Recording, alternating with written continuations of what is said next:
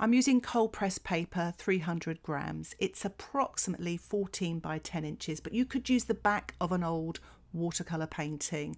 I've just drawn a circle, it doesn't have to be like the reference photograph, and I'm using a mixture of phthalo turquoise and a tiny, tiny touch of black with my size 14 brush, and I'm painting wet on dry. It's just to create this sort of turquoisey coloured rock, stone, pebble, whatever you decide it is. Just sprinkle a little bit of salt as well, a little bit of sea salt or even table salt. And I'm going to use a watercolour pencil now and some sandpaper. You could use an emery board and it's just rubbing the tip of the pencil against the sandpaper to release the pigment which falls onto the damp surface and it sort of disperses. It's a really nice alternative as well to Brusho which I've been using a lot lately and I'll be using it again in this demonstration. So while that's doing its magic there, creating creating its special effects. I'm using a watercolour pencil to draw with. Sometimes that's quite a nice thing to do so it doesn't leave those pencil lines afterwards. I'm also using a wax crayon. It's clear and I'm just rubbing that onto the surface of the watercolour paper. The harder you rub, the sort of more definite the lines are and you can see there I'm just applying some ultramarine with a touch of quinacridone gold. It creates a lovely green greyish colour. It's wet on dry. I'm using my size 14 brush. If you don't have um, a clear wax crayon, you could use um, oil pastels as well, or even a, a wax candle. I've used that before many times, or birthday candles. So I'm just applying this now wet on dry and you can see how the wax has resisted and also how the watercolour pencil has dissolved. I'm now using the watercolour pencil um, it's a brown colour and just painting that into the wet surface and it sort of softens it as well. It's quite effective. Here comes the Brusho. Couldn't resist. It's black and I'm just sort of tapping the pot to release some of the brush Brusho. Really kind of creates a nice natural effect there. So I'm just putting a little bit of shadows around the edge of these pebbles here with my size 4 brush and I'm using a mixture of black and ultramarine. So I've just drawn in another shape. I'm kind of making these up, but just using the reference photograph to inspire me. And I've rubbed a little bit of wax on there as well. This is Rose of Ultramarine by Daniel Smith. If you don't have it, you can just use a magenta, a pink with a touch of black. As you can see to the left there, the salt is working quite nicely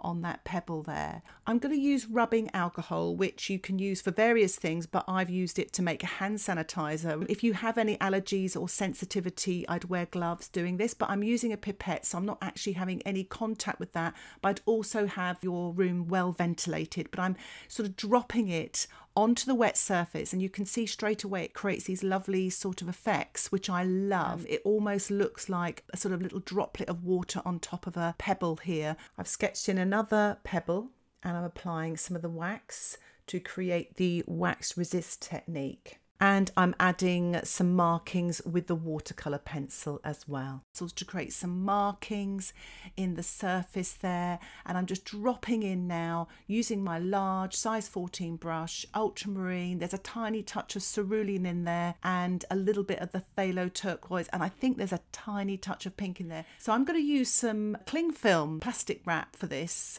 so I'm just making sure I've got lots of paint on there. So here it is. I've just got a small section and you can just pull it out however you want onto the wet paper, place it on there and just sort of fiddle around to get the right effect and let it dry. And where you see those creases, those marks will, when you lift it off, will sort of stay and you'll get some really nice effects. Here I've used a little bit of quinacridone gold with a tiny touch of black just to tone it down. And now I'm dropping in some burnt sienna and quinacridone gold, wet into wet, just to create these sort of colour markings that are on the pebble. So these are just sort of, you know, your basic watercolor techniques. Now I'm going in with the watercolor pencil. It's the a brown color and I'm just painting it into the wet surface there so it softens it and dissolves it slightly and so it's quite smudgy looking. And now I'm using the sandpaper as well to disperse the pigment. And why not a little spatter as well just to get that another sort of form of textures and it looks so effective. So I'm going to let that dry off a little bit. I'm drawing another pebble. Again, it doesn't have to correspond with the reference photograph. I'm using that as inspiration. This one is in the photograph and it's just one of those unusual looking sort of pebbles with different markings. So I'm just having a little bit of fun here. So I've used the watercolour pencil and I'm just getting a little bit of quinacridone gold to fill into this gap that I drew, the sort of this shape here. So I'm just sort of painting that on wet on dry.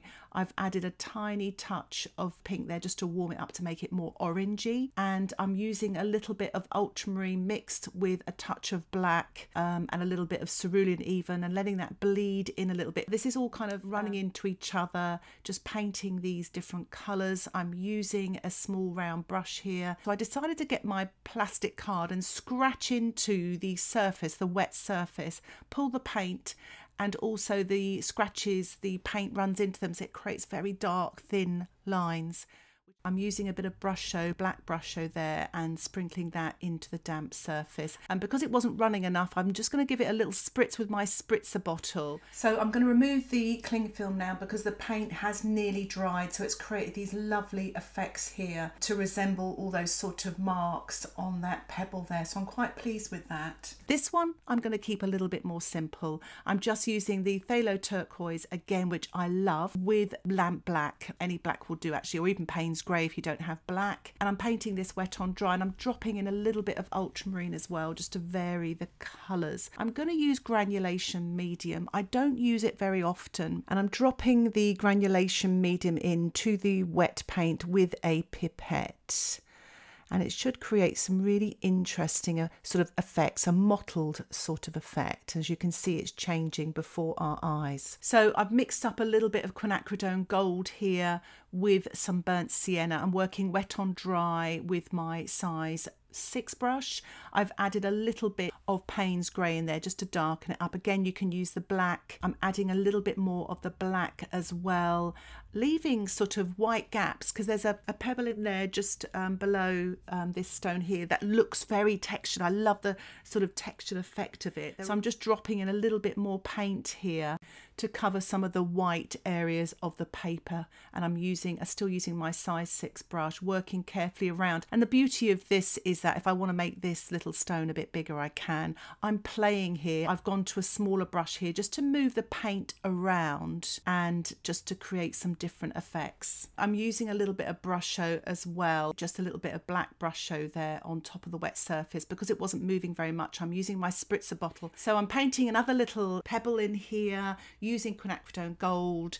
I think a tiny touch of grey as well, just to drop that in and just to create a marbling effect using my size 4 brush here and just sort of painting this creamier paint damp into wet. So not only can you try these different sort of Brushos and watercolour pencil effects, but you can also just use your watercolour techniques as well. I've sprinkled a little bit of salt on there and I've gone on to paint this very brightly coloured pebble or stone up here using burnt sienna and quinacridone gold. I'm now getting a touch of pink and burnt sienna because I want this really, really warm colour that I can see in this stone just above here. And I'm painting this damp into wet to create that really sort of vibrant, strong tonal colour there. When it's damp into wet, of course, the paint doesn't disperse as much. It stays where it is and you get a nice soft edge. I've just rinsed off my brush there. I'm getting a little bit more grey and dropping that in wet into wet. And I'm using a little bit of quinacridone gold, a little bit of burnt sienna and lots and lots of water. I'm using my size 6 brush. I'm tapping some terracotta brusho gently so the crystals fall out onto the wet paint and uh, hopefully a little bit of magic happens there also. I'm using my plastic card now, you could use your twig as well, just to sort of scratch in to this little pebble there and move the paint around as well, sort of almost drawing with this wet paint. Believe it or not, I'm actually using a sponge, a natural sponge, but you could use any sort of sponge. I've wet it, wrung all the water out so it was damp, and I've just gone in with some dark paint there and just tapping very gently onto the watercolour paper to get these kind of stippling and pattern effect that you get on some of the pebbles there. It has run onto the pebbles beside it so I'm just lifting off very quickly with my paper towel and it comes off quite nicely actually because everything's a little bit damp. I'm just using my brush now just to smooth things a little bit and put a touch more dark in there. It's almost like a magenta and a black that I've used there. And I just want to make this pebble now a little bit bigger. It looked a little bit odd where it was, so I'm just extending it a little. I'm just putting a little bit of shadow on this pebble here that I put the cling film on. It's dried off a little bit and I'm just, not so much shadow, but darker marks on there. Using my size 6 brush, painting wet on dry, and it's just really grey blues. I'm mixing up a little bit of brown really, burnt sienna, a touch of pink, and I'm spattering this little pebble here, just using my hand as a guard to stop it um, spattering everywhere. And I thought I'd spatter a little bit on some of them here and there just to create some texture and markings on them. What I've decided to do here is just paint in the negative shapes in the background carefully around the pebbles. So I'm using this size 4 brush, you could use a size 6 brush. I will be using a larger brush to sort of spread the paint as well, but I'm using ultramarine and black. You could use a phthalo turquoise and black, but just a colour that makes a really dark tonal value. So I'm using my large size 10 brush here. I've wet it and I'm just drawing out some of this dark colour.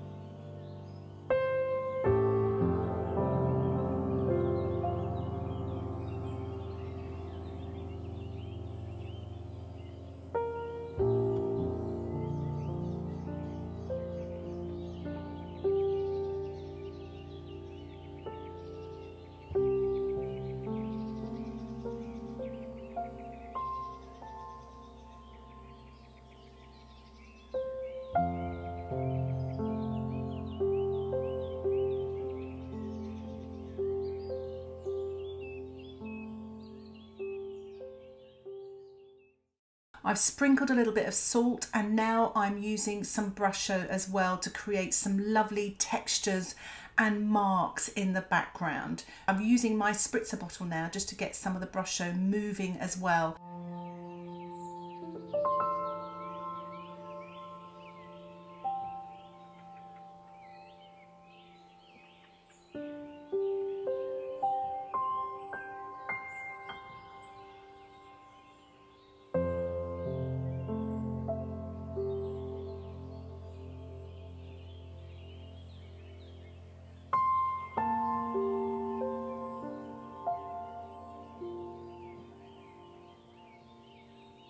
I'm just using some shadow colour here. It's a bit of ultramarine and black and just glazing it on the dry pebbles using my size 6 brush and then just softening. Again, I'm not worried about backgrounds or any sort of marks.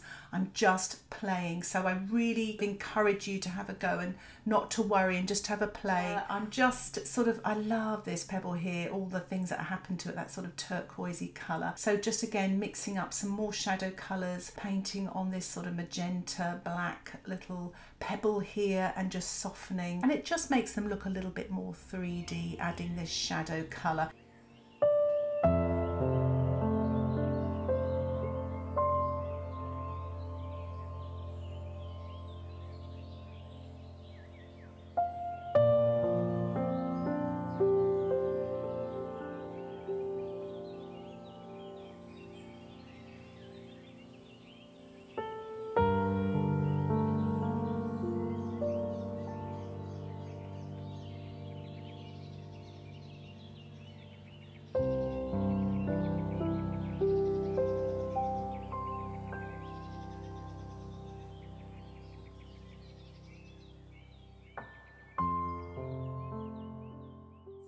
So what I'm doing here is I'm just lifting off the highlights. My painting is dry and I'm using the paper towel, my stencil brush, but just use an old brush or a synthetic brush or even a sponge or a Q-tip just to lift off a little bit of light. And it just creates an, another 3D effect. And then just take the excess off with the paper towel. And I'm finishing off now. Again, I've dried my painting and I'm finishing off with a spatter of white gouache as I like to do. Again, you don't have to do this, it just gives it a little sparkle and some more light on the pebbles. So I'm just using a quite an ivory coloured mount to put round the pebbles here. And it really does bring the painting to life. I've really enjoyed this painting, all the different techniques. I found it really therapeutic and a great excuse to practice my watercolour painting. If you like this tutorial and you'd like to support the content that I create here on YouTube, why not think about joining my page Patreon membership. You will get access to my weekly exclusive tutorials and downloadable outline sketches. More details about the membership can be found in the description below. Just click more. Thank you so much for watching. Happy pebble painting. Bye for now.